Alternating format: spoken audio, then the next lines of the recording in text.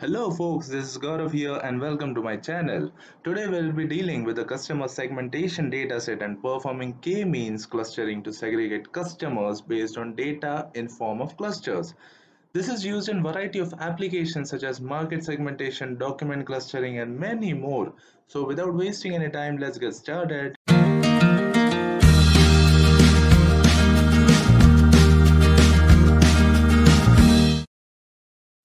Start off by importing some important libraries which we'll need such as importing NumPy, importing pandas and importing matplotlib and seaborn which will be used for plotting our graphs.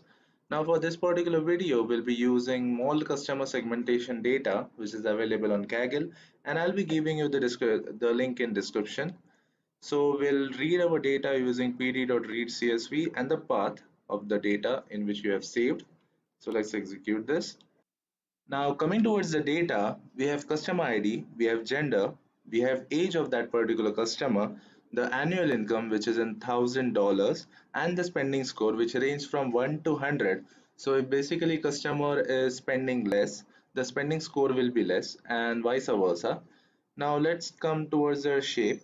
So we have 200 rows and 5 columns. This is really a small data set is used for demonstration purpose now when we execute df.info, we get a brief information about our data. That is, what is the data type of our, our columns? What is the memory usage? Are there any null values? So you can see each of our column has 200 rows and there are no such null values which exist in our data. Now since we are dealing with clustering, a unsupervised learning approach we'll be segmenting customers based on spending score and annual income. Hence, we'll be extracting two of these columns and adding them in separate data frame as X. Now let's start building our model. Firstly, we'll use k-means for deciding the number of clusters and we'll find optimal clusters using elbow method.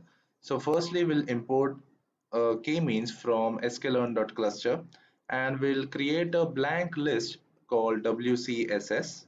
So basically what is WCSS? So for each value of k, we are calculating WCSS which stands for within cluster sum of square.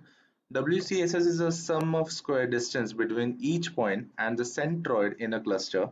When we plot the WCSS with the k value, the plot looks like an elbow. As the number of cluster increases, the WCSS value will start to decrease.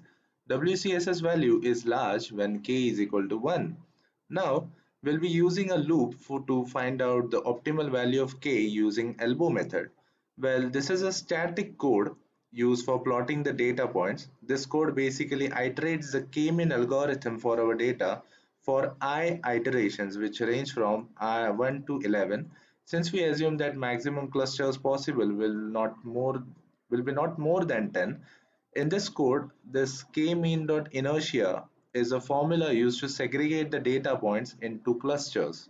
Now once we are done executing the loop, we will be plotting the value of WCSS for each of the cluster from 1 to 11.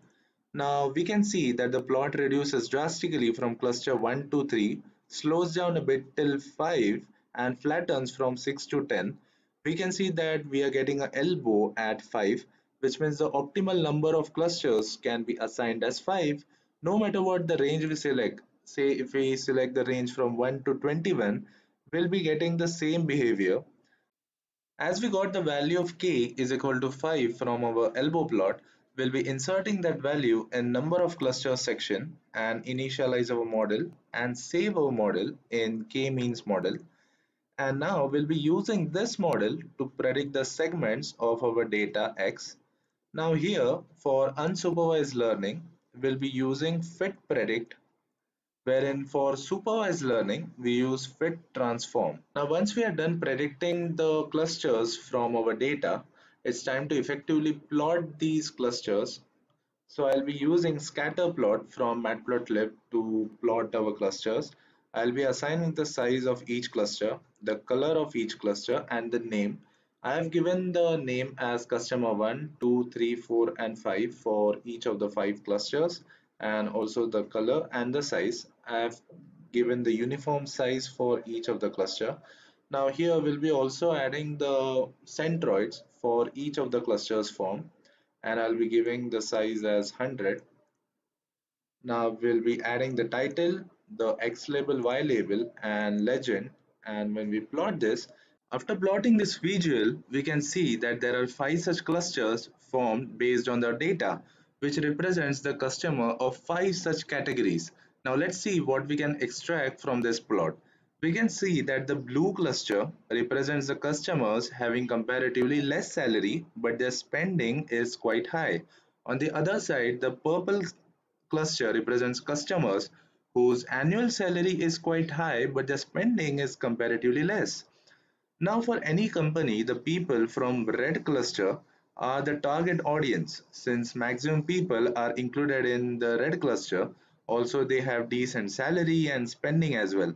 So the company will promote their products more with the customers included in red cluster than the customers included in other clusters. Well, this is the most important intuition which is extracted by a lot of companies to target their customers based on the available data. Yes, the practical data will be a lot complex, but the basic principle of clustering remains the same. This was all from my side and I hope the video was quite helpful. Please do like and share. If you are new to my channel, don't forget to subscribe my channel for more such amazing content. Thanks for watching. Take care and bye-bye.